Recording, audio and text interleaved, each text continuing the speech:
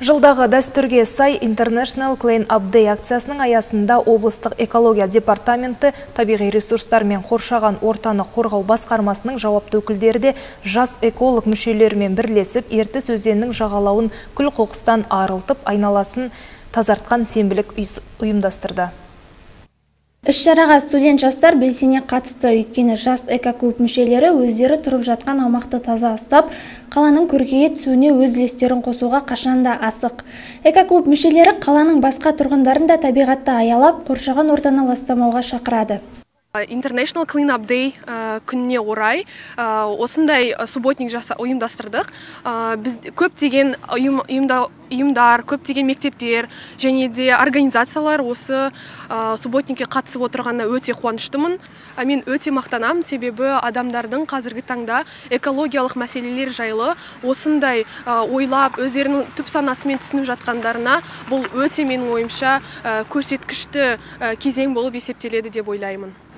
Жалпы мұндай сенбіліктер соңғы уақытта жиі өткізілуде. Бұған жауапты жергілікті жердегі құзырлы орган мамандары егіске білек сыбана кірісіп, акцияның ойдағыдай өтуін жіті қадағалауда. Дүниежүзілік тазалық күніне орай содан кейін Тоқаевтың бірге Қазақстан деген бағдарламасына бағдарламасының шеңберінде осындай акция өткізіліп жатыр. Біздің басқарманың қызметкерлері, содан департамент экологияның қызметкерлері, волонтердарымыз бар, жас қыздар, жігіттер жүр, міне студенттер, солардың бәрін қатысуымен жаңағы мына су жағасын тазалау жұмыстарын өткізіп жатырмыз. Енді міне жақсы жұмыс істедік деп ойлаймын. Мінекей осындай акцияны үнемі өткіземіз деп ойлаймын. Ұйымдастырушылардың айтуынша тұрғындардың қала келбетіне баса назар аударып, айналаның тазалығына мән бере бастауы көңіл қуантарлық жайт. Сонымен қоса мұндай сенбіліктер жастарды еңбекке баулып, экологиялық сауаттылықтарының артуына да септігін тигізуде.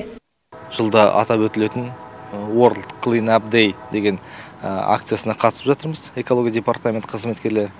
Енді аталған іс-шараға енді Өскемен қаласы бойынша мына осы осы учаскеде мыңға жуық бізде қатысушылар бар.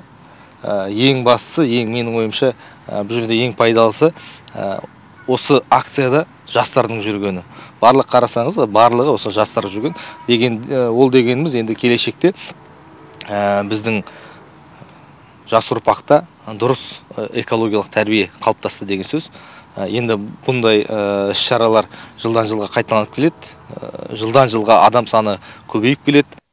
Көпшілік жұмыла атсалысуының арқасында Ертіс өзенінің жағалауы аз ғана уақыт ішінде жылдар бойы жиналып қалған күл қоқыс керексіз зат қалдықтарынан арылды. Бұл күнде табиғатты аялап қоршаған ортаны таза ұстауға негізделген тың жобалар жоспарлы негізде іске асуда. Осы орайда жас экологтар қала жұртшылығын осындай іс-шараларда бой көрсетіп, экологиялық акцияларға қатысуға шақырады. Мадина Сүлейменова, Сая Жарасқызы, Диас Талғатұлы, Алтай ақпарат.